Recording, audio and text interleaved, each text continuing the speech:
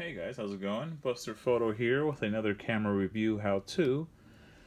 Today, I'm going over a Nikomat FTN, a Nikon Nikomat FTN, one of the cheapest manual SLR cameras you will find.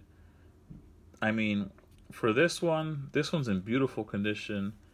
I mean, there isn't a scratch on this, except maybe right here around the little Nikomat plate I paid $11 shipped for this on eBay, and you will continuously find these for less than $20 in great condition. And if you're just getting into film, holy smokes, man, like get one of these. They're so cheap. They make sure you have one that works obviously, and it it, it pretty much has all you need. Um, they have different versions um, that have um, the shutter speeds in different places, but I mean, it doesn't matter which one you get. The light meter is, I mean, if if your light meter is working, it works great, super accurate. But um, so yeah, let's go over um, some of the features of this camera. So the first thing we want to do is get a lens on here, because you can't take pictures without a lens, or at least not with this camera. So we have a 50 millimeter 1.4 here. Now, in order for this camera to be coupled correctly with the lens, it does need a lens with rabbit ears.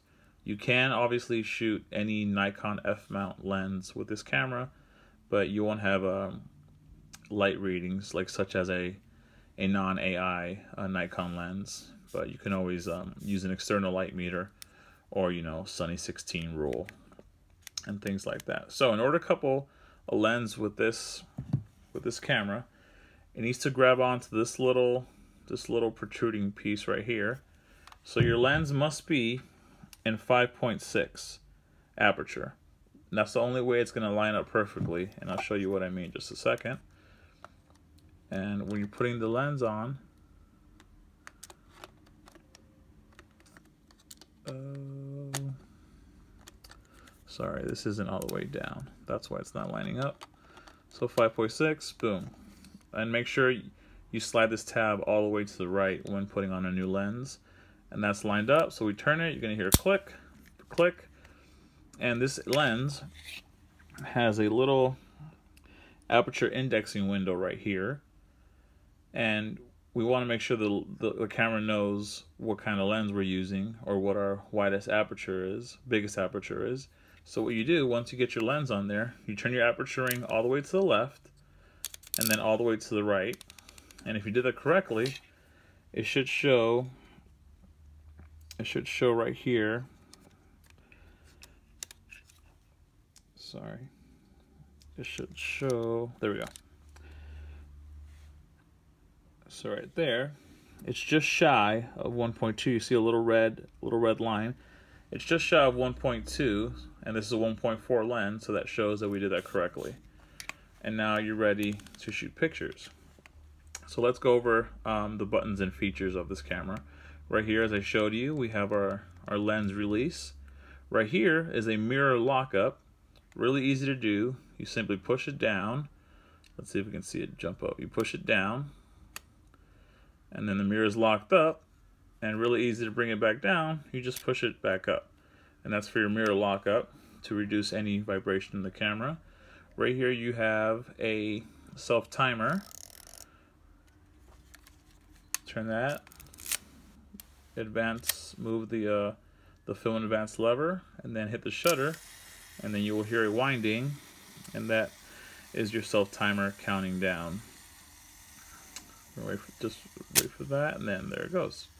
Right here is your little rings for um, a, a neck strap or any kind of strap attachment. And now this camera is a little interesting. So let's start from the top. So on, on most cameras, or most older film SLRs, the shutter speed dial is usually right here. But on this one, it isn't. On this one, it's around the lens. And you move it with this with this um, little little handle, I guess is the best little nub, little knob, and that's how you turn the shutter speed. And there's a little little circle right here, and as you're turning this, it changes the the shutter speed. So we have a thousand from a thousand to one second, and then bulb. So a little a little different with this um, Nikomat FTN. Um, I know the FTN EL, which is a different version of this Nikkor of a Nikkormat or Nikomat, which I also own, and I'll be doing a review of it sooner, uh, pretty soon. It has the the shutter speed dial right here, but on the Nikomat or Nikkormat for the American version, the Nikomat is a Japanese version. FTN, it has the shutter speed dial right here around the lens. And also right here around the lens, let me change that focus. This is how you change your film speed. Now that this is act actively coupled with the, the light meter inside the camera. So moving this will change the, the different light readings you get. So right here I have it at um, 400, I mean I'm sorry, film speed 400. And it's really easy to, to move. I mean there's no real trick to it. You just kind of put your fingernail in there and then you just slide it around. So now it's around 800. Let's put it back to 400. And almost there. There. And that's how you um, that's how you change your your shutter speed. I mean, I'm sorry, your film speed. So that is that. Moving towards the top of the camera, you have your film advance lever, obviously. That little red circle is indicates that your camera is on. The only real off switch to this camera is you put the film advance lever back. That's on, that's off. Really easy. Here's your shutter release, of course. Here's your film counter window. And right here, this button right here, if I'm not mistaken, is your depth of field preview.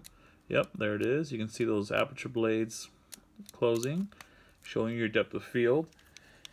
This little attachment right here is actually a cold shoe um, for attaching a flash. Cold meaning that this doesn't actively fire the flash. You would you would need um, these flash sync uh, ports right here to do that.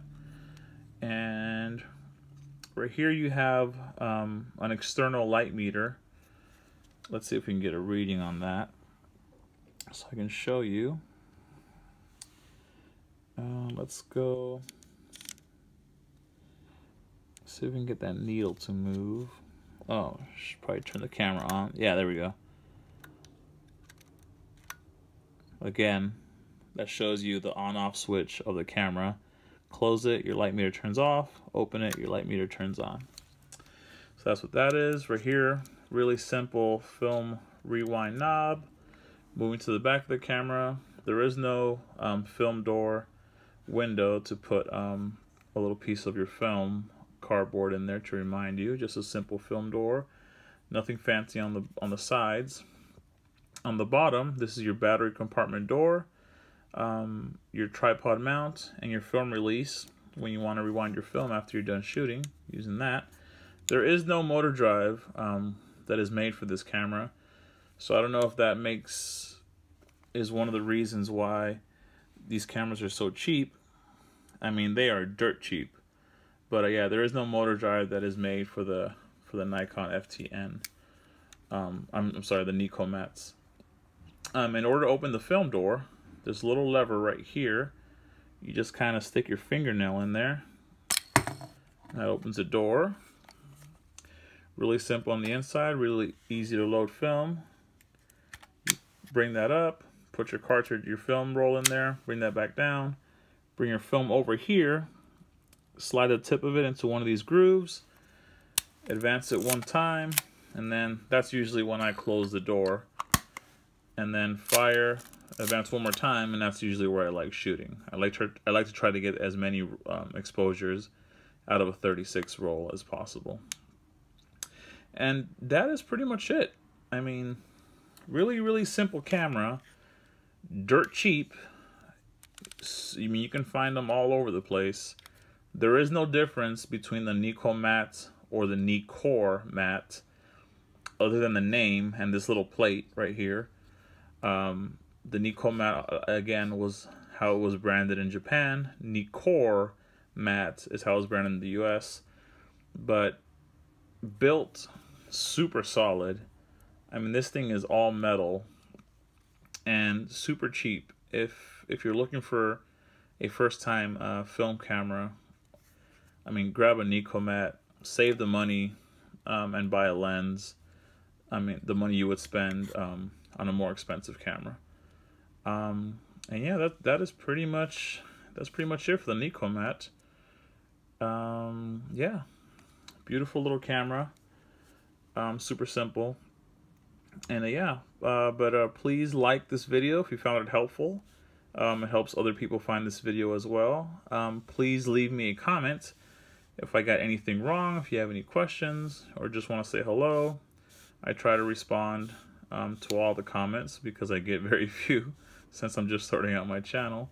And uh, please subscribe. I have tons of more videos um, coming out, including um, a different Nikomat um, coming out pretty soon after this one. Um, I just have some film in that camera, so I'm trying to finish shooting and then so I can do a review on it. But uh, yeah, guys, thank you so much for watching.